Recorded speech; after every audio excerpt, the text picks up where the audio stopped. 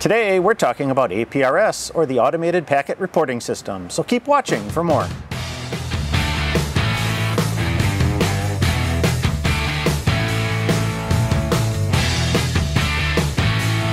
Hi, I'm Michael, KB9VBR, your host for Ham Radio Q&A. I'm on a mission to inspire and educate the amateur radio community, so if this is your first time watching, please consider hitting that subscribe button.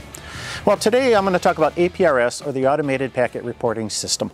Um, in fact, I'm going to do a few different videos on APRS. Um, we're going to go into some of the more technical details in, in one of the later ones, but on the first one, I just really want to give you sort of that overhead view of um, what the Automated Packet Reporting System is, uh, give you a brief history, and also um, some of the ways in which you can get started in APRS.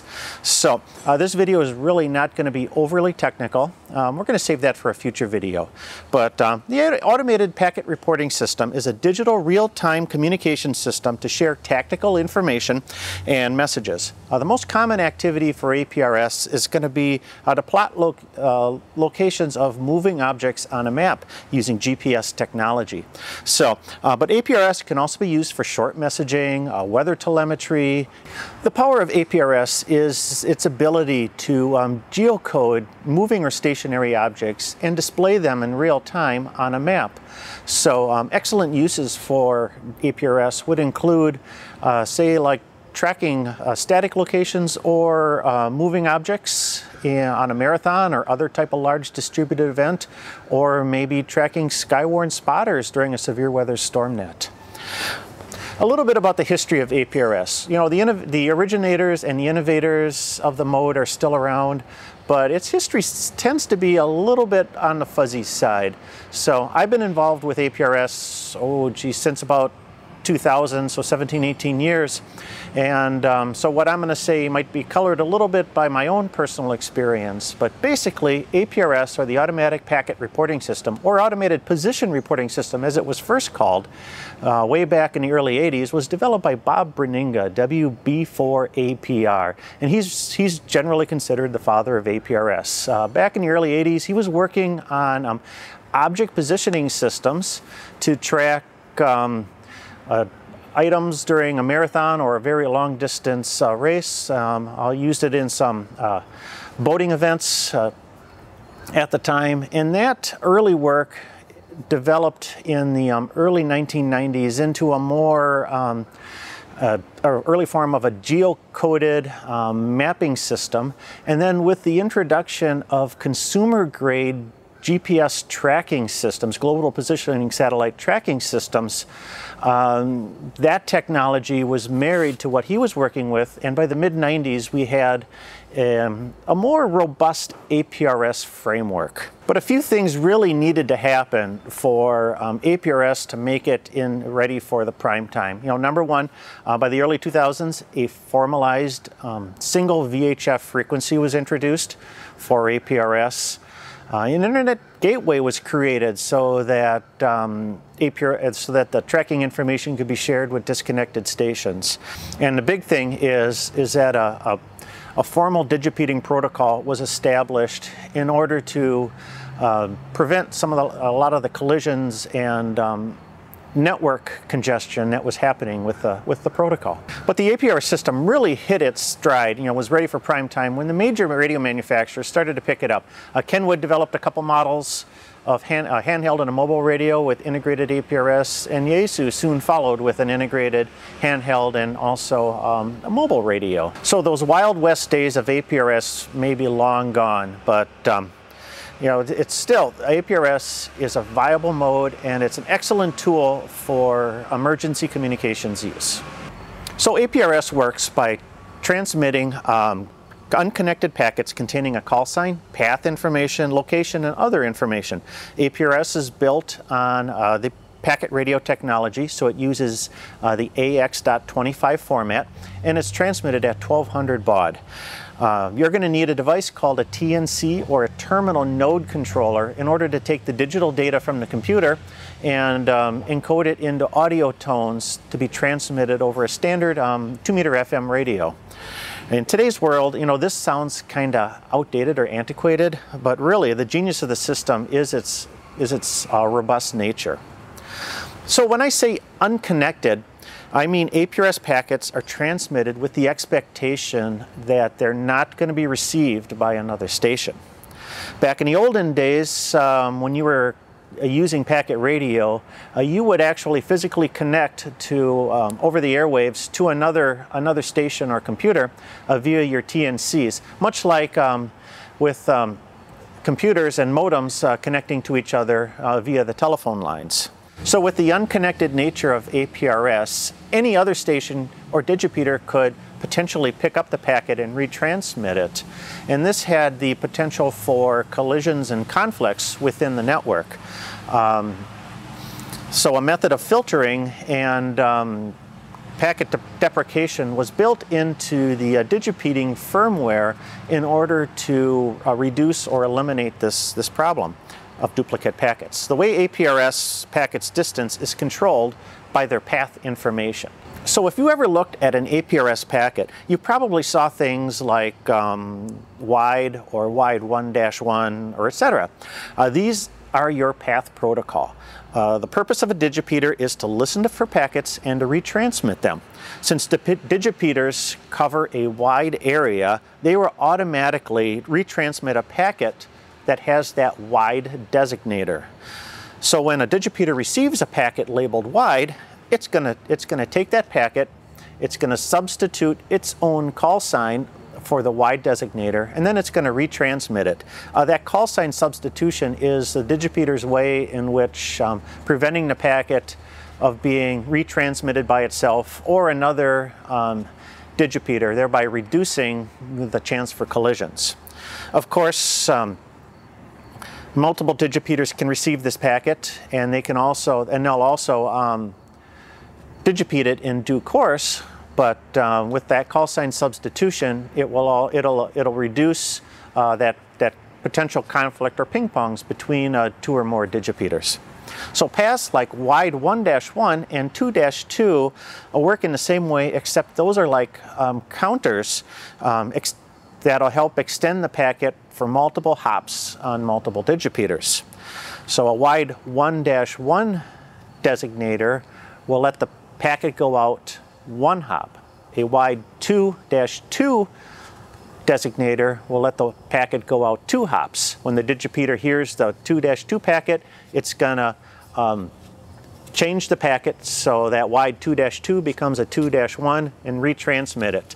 And then the next digipeater will hear that wide 2-1 and it's going to take it's going to take that 2-1 and since that's the last hop, it's going to substitute its call sign and retransmit it, thereby eliminating uh, collisions and keeping your packet range manageable.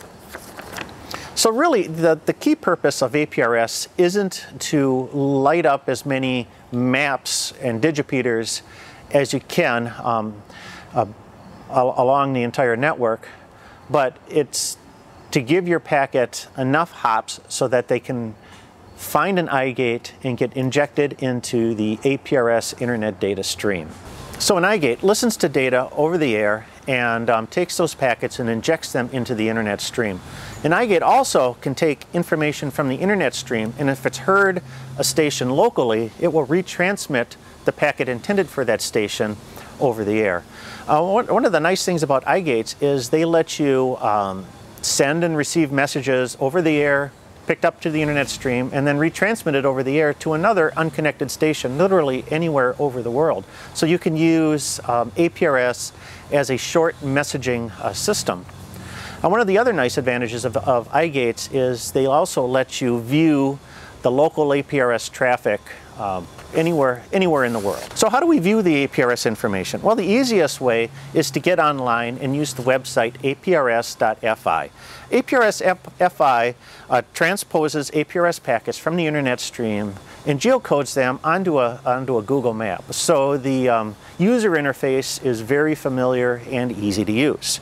Uh, some of the features like messaging aren't available on APRS-FI, but there's a lot of stuff you can do uh, with this site in, to, uh, in, in, monitor or viewing uh, the APRS data for any, any local area. So the easiest way to really get started with APRS is with a handheld radio, uh, the BTech APRS cable, and your smartphone.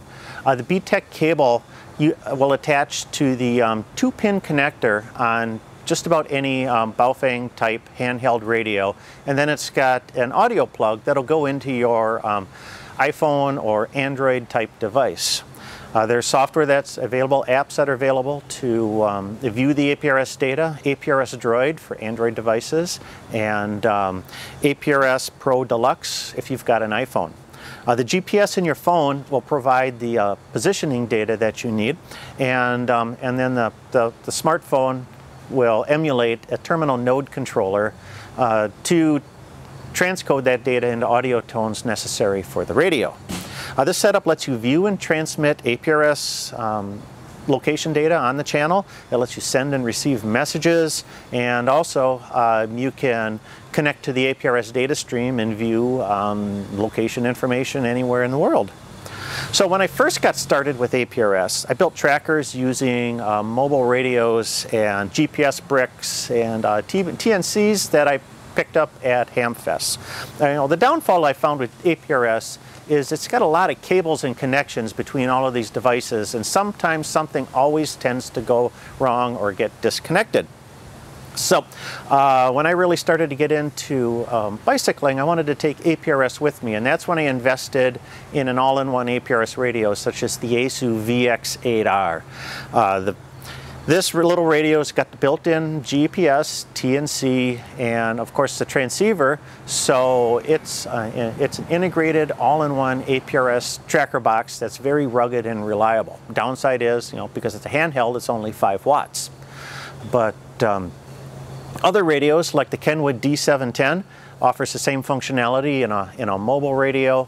Uh, Yaesu's got similar models and um, so you can have an integrated all-in-one tracker system if you don't want to go with another route, uh, such as a TinyTrak APRS tracker module or the Argent Data Systems um, tracker. But the common thread here in, um, in APRS is that you're going to need a TNC or a terminal node controller. Uh, smartphone apps like APRS Droid, uh, they emulate the TNC. Tracker boxes like the TinyTrak or the Argent data systems have the TNC built into them. Our radios like the Kenwood D710 or the Yaesu VX8R have TNCs integrated in, in, into them also. Or you can buy a standalone TNC like the Kantronics KPC3 Plus.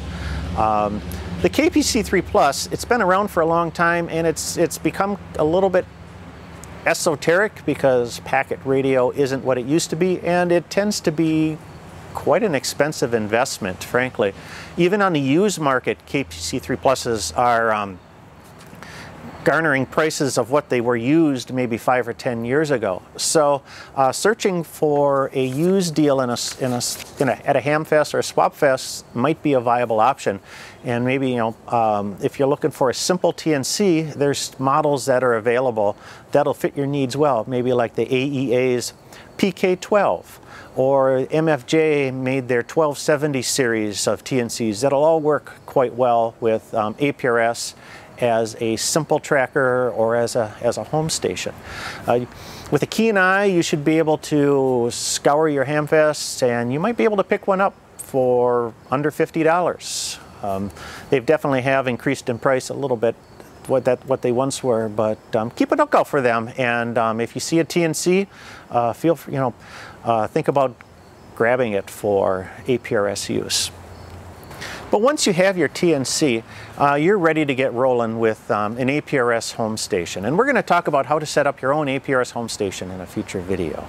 So did I pique your interest? Do you have questions or comments about APRS or the automated packet reporting system? I'd love to hear them. So please leave a comment down below. I'll answer your questions and we'll follow them up in a future video.